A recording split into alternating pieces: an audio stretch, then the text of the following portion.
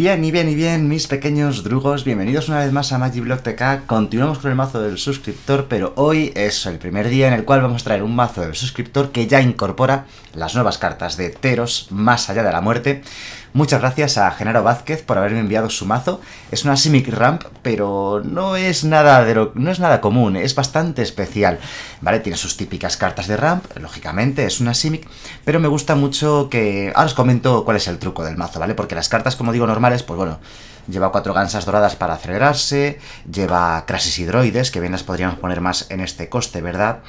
Lleva los alcifers despertados, junto con los uros titán de la naturaleza para también buscar más tierras, robar cartas, etcétera, etcétera.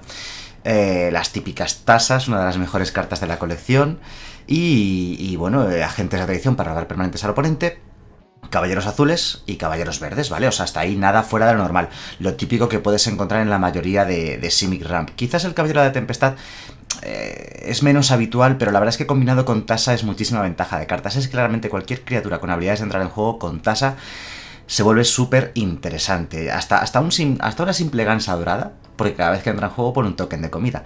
Pero ya no digamos Arrecife Despertado, Uro, o, como estábamos comentando, Caballero de la Tempestad, Caballero de las Espinas. La Crisis no, la Crisis no la saquéis porque vuelve como 0-0 y se muere. Y Agentes de la Tradición, sobre todo con Agentes de la Tradición.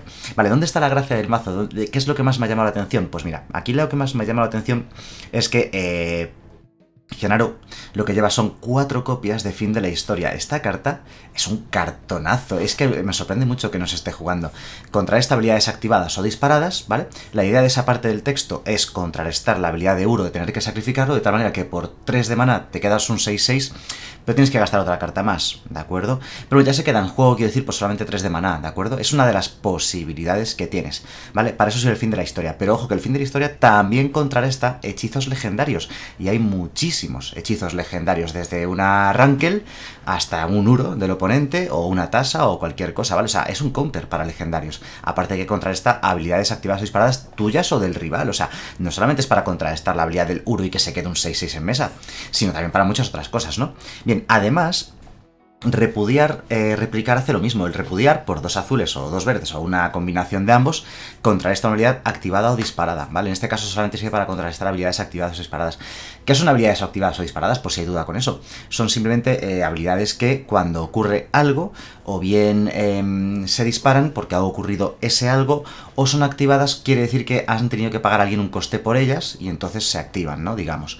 Bueno, pues todo lo contrarresta. Pero es que, claro, es que, eh, claro, cuando vi el mazo dije, vale, bien, y luego dije, claro, es que replicar en este mazo es muy bueno, porque replicar crea fichas, fichas de criaturas que son buenas, como por ejemplo la propia Gansa no es mala del todo, pero ya lo que quieres replicar son cosas como Arrecife Despertado, Uro, eh, caballeros de estos, un agente de la traición. Entonces dije, ah, claro, claro, es que este mazo tiene bastante sinergia en este sentido. Y luego pensé, vale, pero tanto repudiar, tanto fin de la historia, solo por el tema del Uro y si el oponente lleva alguna habilidad también poder, eh, también poder contrarrestársela. Entonces, claro, luego ya miré las tierras y dijo, y dije, anda, míralo.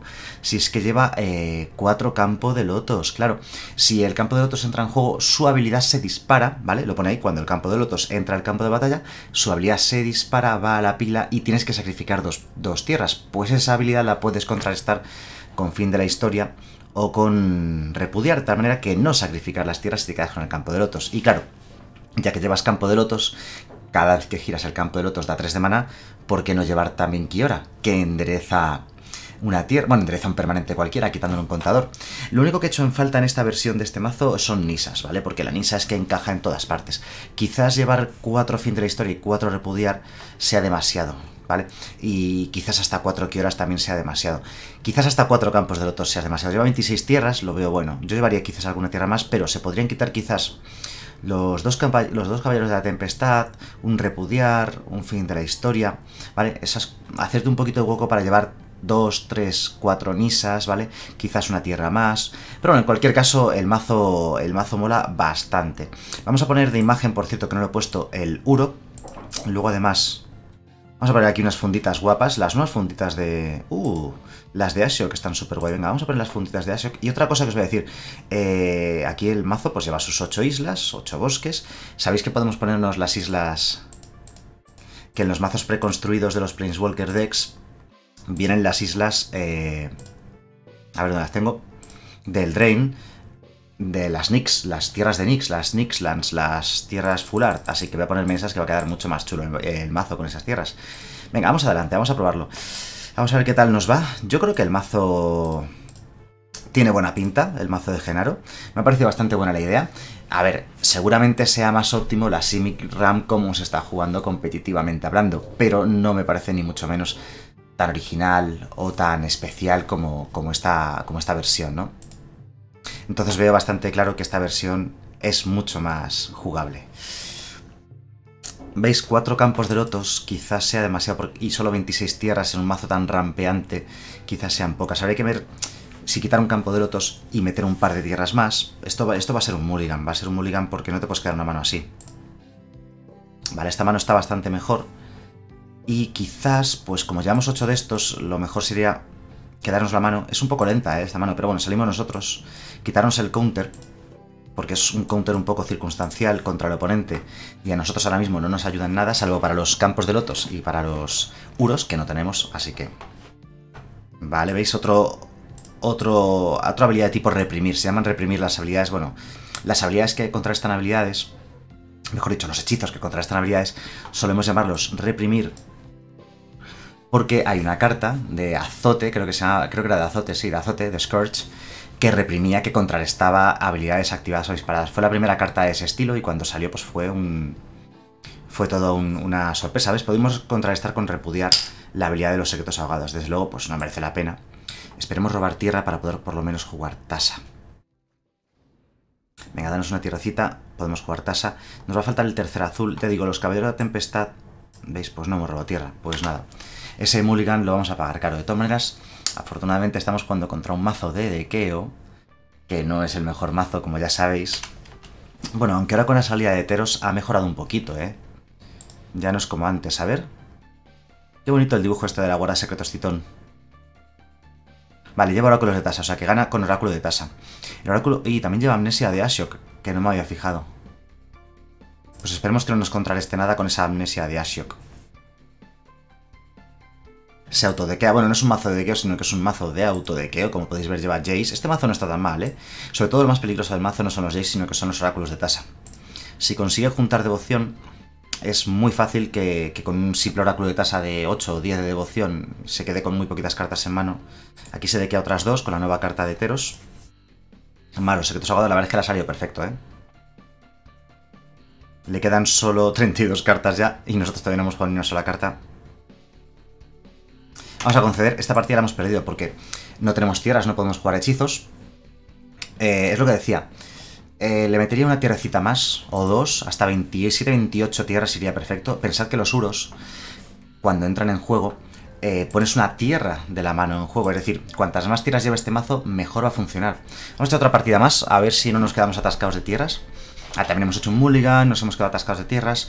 Entonces vamos a echar una segunda partida, a ver si será una partida más normal que podamos jugar. Pero esta partida estaba perdida, porque el oponente ya le quedan muy poquitas cartas en el mazo. Em, tenía muchas formas de autodequearse, ya veis, eh, tenía de devoción, algo de devoción en mesa. Era cuestión de un turno o dos que nos ganase. Y en cambio, este mazo Simic, una de las cosas que tiene más la Simic Ramp es que no gana rápido. Puede ganar con mucha fuerza, pero tarda. Entonces, entonces eso. Vamos a ver esta segunda partida, a ver si nos hará una partida un poquito más normal. Volvemos a salir nosotros. y tenemos el mismo problema de antes. Em, bueno, tenemos el counter. Venga, vamos a hacerlo. Podemos jugarla, podemos jugarla porque vamos a hacer mana gansa. Ponemos el token de comida. Y ahora, en el segundo turno, eh, podemos eh, hacer fin de la historia. Vale, la idea es la siguiente. Tenéis que poner full control, ¿vale? Tenéis que poner full control. Em, pero es que hay que sacrificar dos tierras. Son dos tierras, no tenemos dos tierras. O sea, ni full control ni nada. Sí, sí, sí nos sirve, porque podemos sacar mana verde de aquí. Podemos sacar mana azul de aquí. Lo que vamos a hacer es contrarrestar precio... No.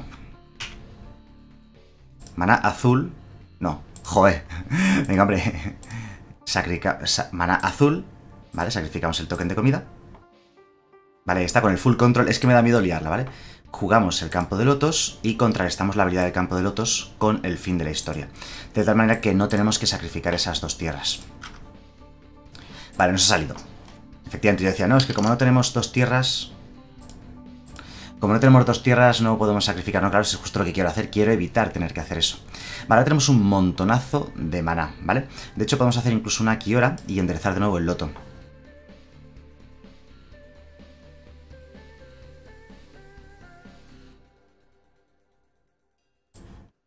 Vamos a jugar la Kiora. Con la cual enderezamos el loto. Una cosa que he dicho que el mazo también tiene mucha sinergia, que no he dicho, es que tienes un montón de criaturas que pegan más de 4, por tanto robas cartas extra, lo cual está genial. Entonces ahora, si pudiésemos jugar, pero no nos da, podemos sacar tres azules y uno verde, no nos queda mana para jugar el Uro. Bueno, para jugar el campo de lotos.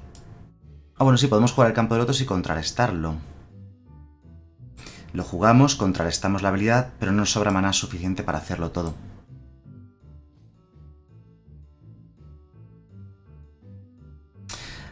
Vamos a simplemente a jugar Uro, ¿de acuerdo? Se disparan las habilidades, primero la de robar de Kiora, luego la de robar de Uro y luego la de eh, poner una tierra en el campo de batalla. Robamos carta, eh, es una tierra, perfecto. Robamos otra carta del Uro, ganamos tres vidas. Y... Em, la tierra que podemos poner en juego. Tenemos un azul en el pool. Si jugamos esta tierra enderezada directamente, ¿vale? Y ahora podemos poner una tierra de la mano en juego, ¿vale? Ah, no, la de sacrificar, la de sacrificar el, el uro. No lo he contrarrestado, podríamos haberlo contrarrestado, pero mi idea era mejor todavía. Vamos a full control, sacamos verde, tenemos verde y azul, jugamos otro campo de lotos y contrarrestamos de nuevo la habilidad con fin de la historia. De tal manera que el siguiente turno tenemos una cantidad de mana, pues bestial y pasamos la prioridad porque ya no podemos hacer nada más. No atacamos. Un turno absolutamente bestial. Como podéis ver, el siguiente turno tenemos 3 y 3, 6. Y enderezamos un loto 9. Nos ataca a nosotros, ni siquiera ataca a la Kiora. Y 2, 11. Entonces tenemos como mínimo 11 de mana para el siguiente turno. Vale, engendro del caos no está mal. Pero como os digo, ¡buah! ¡buah! Esto es una absoluta locura. A ver, tenemos tres cartas, tenemos dos cartas adicionales al Uro en el cementerio, así que el Uro no vamos a poder jugarlo desde el cementerio, no pasa nada, no es el fin del mundo, como digo. Lo que sí podemos hacer es jugar esto.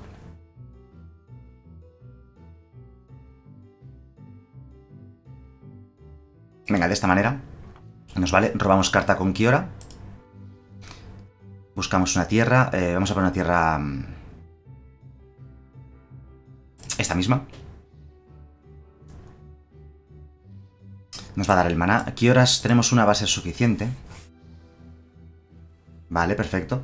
Podemos jugar... Bueno, podemos enderezar, si es que esto ya digo que es la fiesta de la espuma. Podemos jugar la tasa. Tenemos dos verdes en el pool que no vamos a aprovechar. Vamos a jugar tierra girada de turno. Y vamos a poner un token de comida con la gansa dorada. Entonces, al final del turno, tasa eh, saca el caballero de las espinas del juego y lo devuelve. Y por tanto la habilidad de, del cabello de espinas vuelve a dispararse y la de Kiora también. ¡Madre mía, madre mía, qué locura! Eh, podríamos jugar otro campo de lotos más y sacrificar dos tierras básicas. Vamos a hacerlo. Otro campo de lotos más, sacrificamos un par de bosques. Y ya está. Pasamos turno. Además me acabo de dar cuenta de que Uro tiene sinergia con el tema de los campos de lotos de sacrificar tierras. Ahora tenemos un montón de cartas en mano. Nos ha pillado con dos bosques en mano. Por cierto, el cabello de las espinas tiene alcance, o sea que puede bloquear el engendro del caos. Y este ataque, pues bueno, nos lo podemos comer. Otra tierra. Demasiadas tierras estamos robando. Vale, como decía, podemos, em, podemos jugar el Uro. Lo vamos a jugar, exiliamos otras cuatro cartas del cementerio. Una, dos, tres, cuatro, por ejemplo, las que sean. Cinco, son cinco. Exacto. Jugamos Uro, robamos carta. Uh, robamos dos cartas. Primero la de Kiora. Vale, recife despertado. Y podemos poner una tierra en juego. Eh, vamos a poner una... Un arrecife, o sea, un estanque reproductor. Vale, podemos eh, jugar, por ejemplo, un arrecife despertado, a ver qué sale. Tenemos, por cierto, devoción al azul eh, en la siguiente carta que juguemos. A jugar tierra de turno, vamos a jugar otro Uro, sí. Why not? Este lo vamos a dejar morir.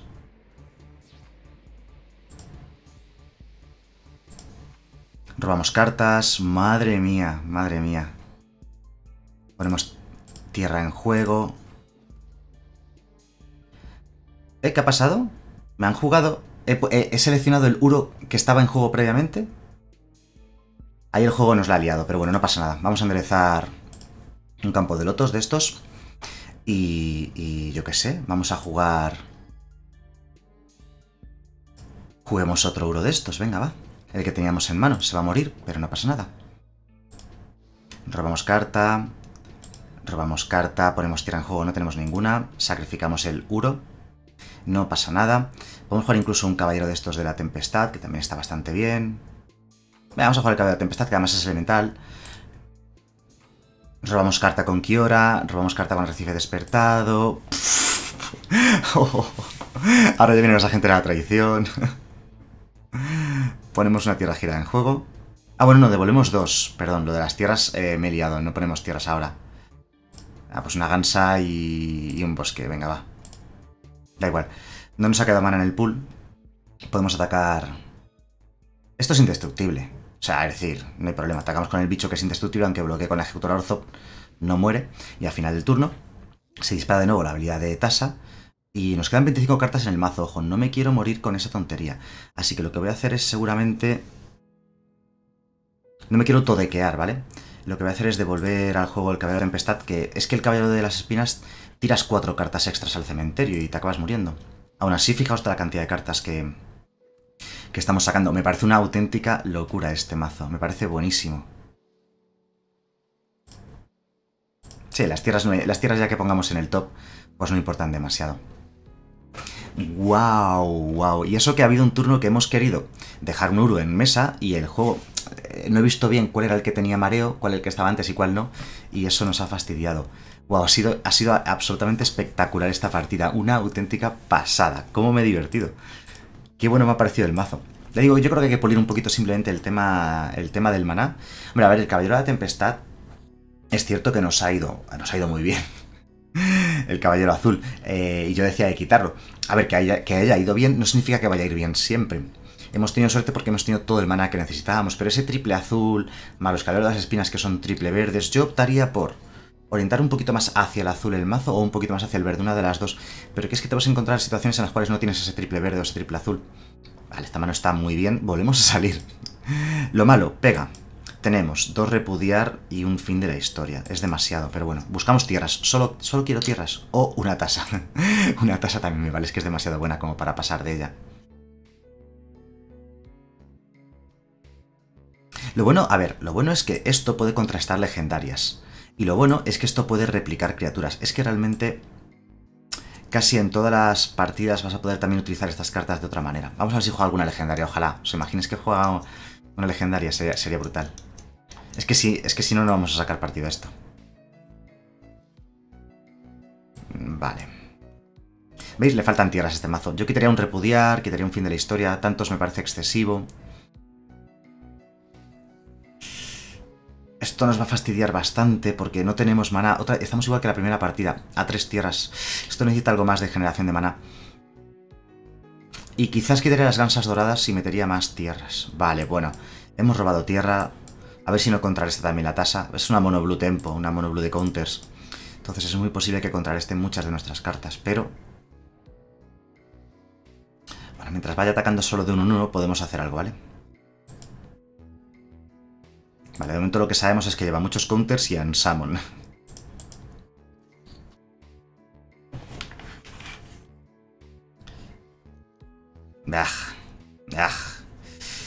No podemos hacer nada. Con el repudiar se puede contrarrestar la habilidad de la Talamandra, pero él puede volver a pagarla. O sea, la contrarrestas una vez. No podemos hacer nada contra ese degollador salobre. Si ahora hace optar, empezaría a tener muchísima presión en mesa. Menos mal que no tenía que optar. Yo no lleva ninguna legendaria. Bueno, los Gatwick. Vale, quinta tierra. Pero ahora no tenemos nada que jugar con ellas. Vamos a contrastar la habilidad de Talamandra todas las veces que haga falta, ¿eh? Además así llenamos el cementerio de hechizos para poder jugar ese Uro. Cuando entra en juego ganas tres viditas que las vamos a agradecer. Venga ya. Esto cuesta 8. Y tiene tres ahora mismo instantáneos y conjuros en el cementerio. Vienes ahí, viene el optar. Ah, esta partida está perdida. Sabéis que voy a concederla ya porque no, eh, no podemos jugar ningún hechizo. Fijaos que nos ha contrarrestado nuestros dos primeros hechizos y a partir de ahí se acabó la partida. Entonces, vamos a hacer eso que os comentaba. Yo creo, yo creo que este mazo agradecería, más que nada por estabilidad de maná, simplemente quitar un campo de lotos. A ver, ¿lo he quitado? Sí, he quitado un campo de lotos, ahí hay tres. Quitar... Eh, ya digo, aquí tienes que elegir, o quitas los caballeros de espinas o quitas los caballeros de tempestad. Son muy buenas las dos cartas, lo sé. Entonces es cuestión de orientarle un poco más al azul o un poquito más al verde. Sinceramente yo creo que lleva un poquito más de azul. La verdad es que no mucho más. Es casi igual el azul y el verde. Voy a quitar los dos caballeros de tempestad que os decía que sí, que son muy buenos, pero al final el caballero de las espinas hace algo similar. En cuanto a ventaja de cartas, también tiene alcance. Es más fácil de bloquear, pero bueno, aún así no va a importar demasiado en este tipo de partidas. Eh, y vamos a quitar un repudiar, un fin de la historia, ¿de acuerdo? Como decía, quizás son demasiadas historias de estas. Y meter, pues un par de tierras más, pues por ejemplo, quizás los dos templos del misterio que faltan, los podríamos meter. Hemos quitado una tierra y hemos metido dos, ¿de acuerdo? O sea ahora mismo el mazo debería estar en 27 tierras, correcto. 27 tierras. Y nos sobran tres huecos. Pues quizás tres nisas pueda ser una opción, o dos nisas, como llevas muchas eh, de dos cartas, ¿vale? quizás una tierra más incluso, y al final voy a optar por un bosque más, ahí está, porque nos hemos quedado con los caballeros de las espinas que cuestan triple verde, y un par de nisas, que bueno, lógicamente van mejor con los verdes, ¿vale? Ya digo que no son cambios muy profundos, solamente meter dos tierras más en este mazo, y, cambiar los caballeros em, de la tempestad por nisas. Básicamente es un poco lo que hemos hecho, ¿no? Va a ser similar, no va a haber mucha diferencia. Se podría meter... A ver, habrá gente que esté jugando este mazo Simic Ram, pues incluso está con los cuatro agentes de la tradición. Es más, incluso se podrían quitar las dos Crasis y meter agentes de la tradición. Es que la gente de la tradición es clave en esta colección, en, esta, en este estándar actual, ¿no? Que tenemos. Sobre todo combinados con Tasa. Venga ya, es que... Es que o sea, lo mío es de verdad de chiste, ¿no? O sea, dices, me voy a quitar, eh, voy a meter más verde, voy a, voy a meter más bosques, más verde, ¿y qué te dan? Tres islas. Bueno, empezamos con Mulligan. Esta mano ahí que nos la vamos a quedar está bastante bien. Y ojo, Kiora de tercer turno. Uro de cuarto es robar... Es robar dos cartas. La del Uro y la de Kiora. Mm, Tasa es que es muy buena.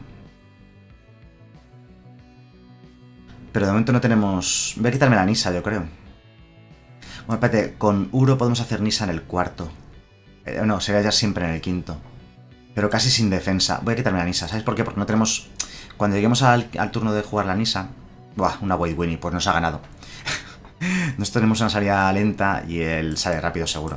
Mira, si llegamos a aquí y vamos a robar otra Kiora, me habré quitado la primera Kiora, lógicamente.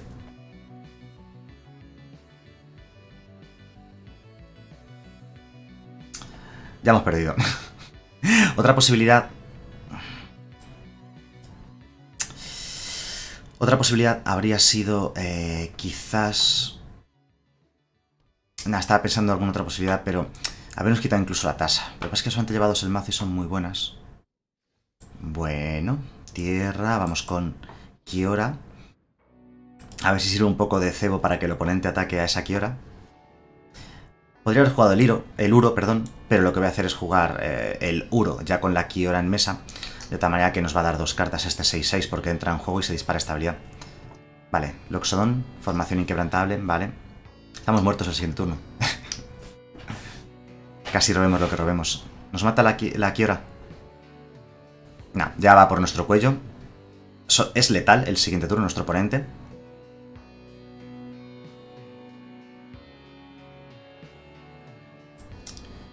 Tenemos que ganar aquí tres vidas para no morir. A ver, robamos carta. Robamos carta y podemos poner tierra en juego.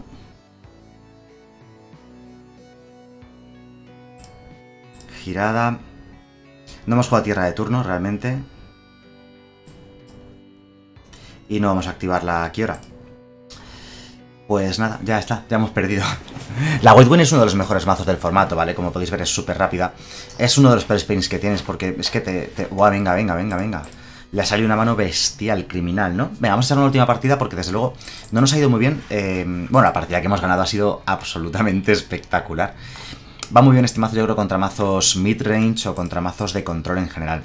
La monoglu esa nos ha ganado porque hemos tenido mala mano y no hemos podido jugar realmente nada más que dos hechizos. En cuanto hubiésemos podido jugar cualquier otro hechizo, habríamos remontado esa partida. Y bueno, en este caso ya digo, yo creo que White Winnie o Mono Red seguramente sean dos de tus peores pairings. Vamos a echar una última partidilla, que hemos jugado ya bastantes en este vídeo. Y ya digo, un mazo que me gusta mucho la idea, pero creo que tiene, tiene que ser pulida. También es que qué mala suerte, ¿no? No tenemos mana azul. En la partida anterior no teníamos verde, solamente tres islas y ahora tres bosques. El Sufler, que está roto. Me está cogiendo manía últimamente el Sufler. Nos la vamos a quedar porque, bueno, podemos jugar Kioras, podemos jugar Nisa y tenemos un Repudiar a ver si podemos contrarrestar alguna habilidad suya. Por ejemplo, puedes contrarrestar un pasaje de leyenda y que no busque tierra el oponente. Le puedes, le puedes destruir con eso, le puedes hacer mucho daño porque no va a poder buscar... O sea, digamos, pierde tierra. Vale, ha hecho un mulligan y está jugando Rack 2 y empieza con Templo de Malicia. Vale, está perfecto. La mejor tierra que podíamos robar. Y una buena carta además, así que venga, vamos a ello. A ver si no va muy rápido a partir de aquí. Ya digo, yo creo que una de las debilidades del mazo... Vale, se ha descartado un Dracused. Dracused a la vista.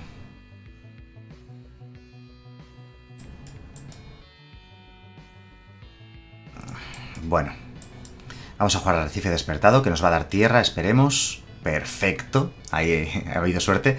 Así podemos hacer Nisa en el siguiente turno. Si él no hace nada, ¿Será un mazo de púrforos?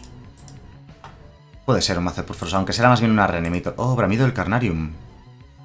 No es el fin del mundo, como digo, porque lo importante ahora era poder poner esta Nisa en juego. Y el siguiente turno, eh, si él no juega nada, podemos jugar un agente de la tradición a, lo que él juegue. Así que sí, por lo que sea, reanima ahora el Dracuseth. Nos puede matar Nisa, en cuyo caso estaríamos un poquito más en problemas. Sí, pues sí, sí lo ha hecho. Regresa Dracuseth y nos mata la Nisa. Ah. Y la Tierra. La verdad es que... Qué mala suerte todo, ¿eh?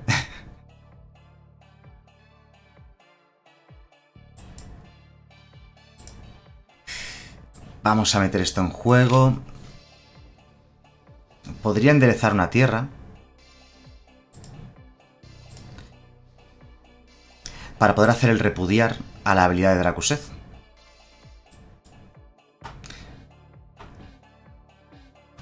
Decide... A ver qué decide. Vale, es lo mejor que podía pasar, que nos atacase a nosotros. Y entonces le hace 4 puntos de daño a cualquier objetivo y 3 a cada uno de hasta otros dos objetivos. Voy a contrastar la habilidad porque es que si no la contrarresto tampoco vamos a hacer nada con, esta, con este repudiar. Hombre, podríamos hacer más adelante replicar a un agente de la pero no va a hacer falta. Ojo que remontamos. Remontamos porque podemos hacer isla. Tenemos 3 y 3, 6. Sacamos mana azul. Lo enderezamos. Y agente de la a su Dracuseth. Nos hemos robado los dos agentes de la tradición, lo cual no está mal, ¿eh? Venga, a ver si juega otro Dracuseth. Pues sí, lo jugó.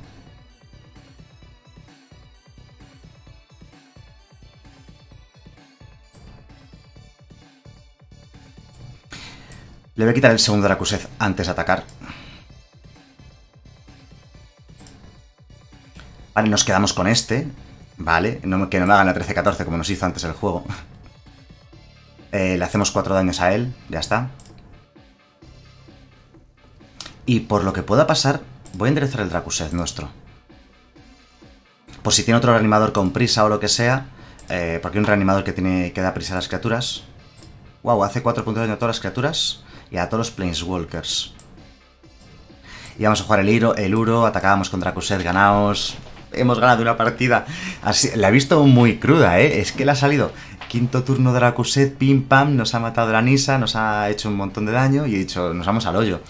Pero ha estado guay. Bueno, el mazo me gusta mucho, ¿eh? El mazo para jugar casual, a ver, no es un mazo barato, lleva un montón de míticas y de raras, la verdad. Pero el mazo está bastante bien, me ha gustado muchísimo, así que, bueno, Eh, yo espero que el vídeo os haya gustado. Yo me lo he pasado bastante bien. Creo que es un mazo de estos típicos que yo digo, va, me lo guardo, me lo guardo y en el futuro lo jugaré en mis pachanguitas para subir las misiones diarias y ese tipo de cosas. Así que bueno, eh, espero que el vídeo os haya gustado y como siempre os digo, nos vemos en el siguiente vídeo. Hasta luego.